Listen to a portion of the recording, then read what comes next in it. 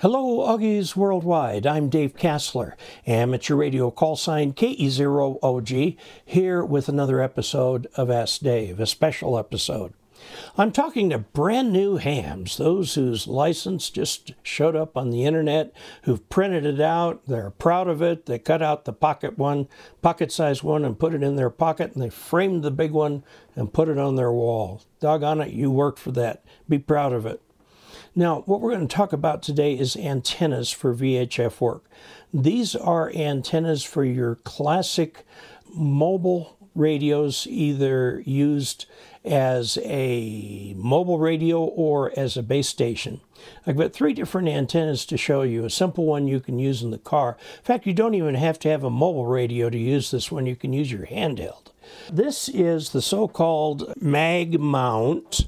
There's a big magnet in here and this is the antenna. And then you see this plate on the bottom, this uh, metal. This is connected to the shield and it capacitively couples to the car body.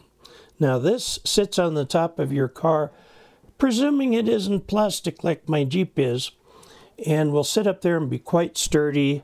You bring this around, bring it in through a door.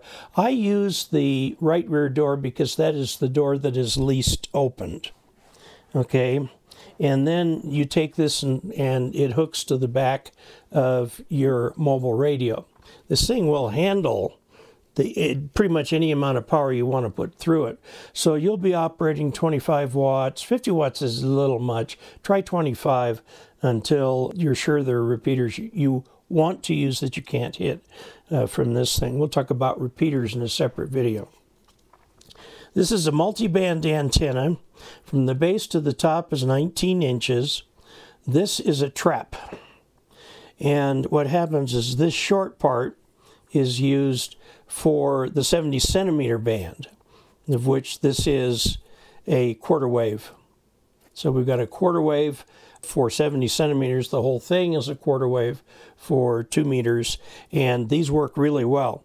The difference between using your handheld with its rubber duck antenna in the car and using this with this hooked to the output of either your handheld or your 25 watt radio is stupendous. It is incredibly different.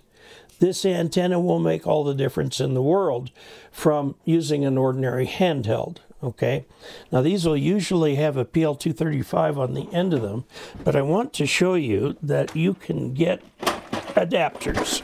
Now, your radio, here's one right here for this is male for a radio that's female, and I've got another one over here. This is both the same. You can get these so they're either male or female.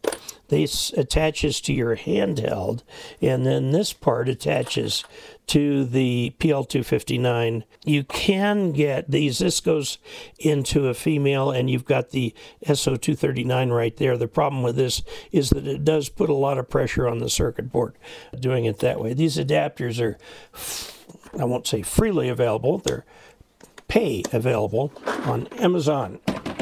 You can get whatever you need there, and that's where most of those came.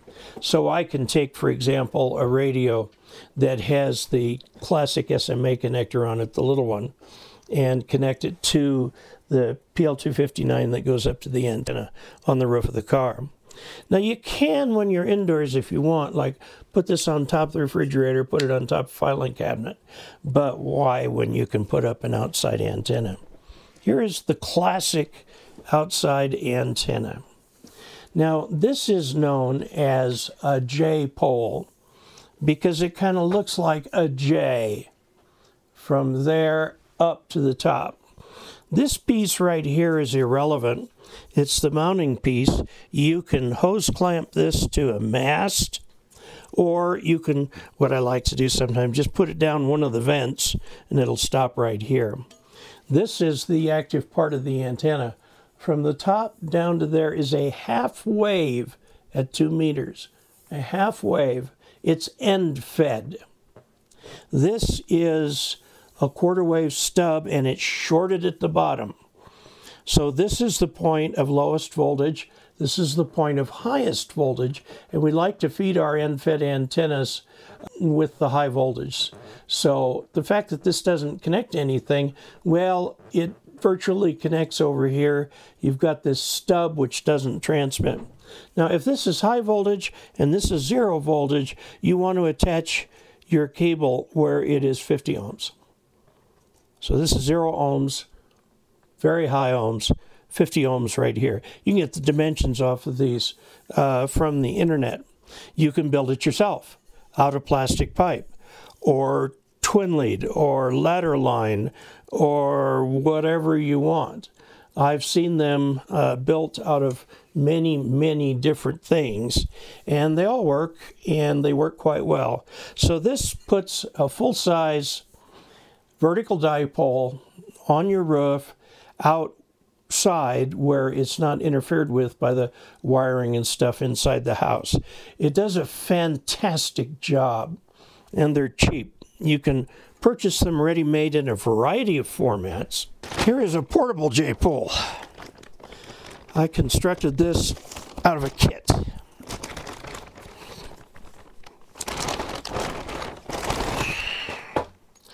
Okay, here's the SO239 that goes to the radio. Okay, and then that unfolds and comes up to the actual antenna, which starts right here. See, we've got this window line here that's actually 300 ohms. Okay, so we've got, here's the half wavelength part right here. Now there's a hunk in here that will allow it to work on 440 also. This J-pole is two meters only. This is a dual band J-pole. So you just take this little loop of string I put on it, hook this over a, a tree limb, okay, and you can sit down at your portable station in a nice, comfortable lawn chair and operate having a, what is, it doesn't look like it, but this is a full size antenna. Okay, a full size antenna. So, that's another way to do it. And you can make these things for dirt cheap. I made one for my, it was a little uh, Polaris RZR that did a very nice job just to have it with me if I needed to stop and use it. I also made one, you know, a lot of people with their ATVs, they put a pole with a flag. That pole is fiberglass. It's long enough you can actually tape a J-pole to it and use that fiberglass. It doesn't affect the radiation. The flag doesn't either.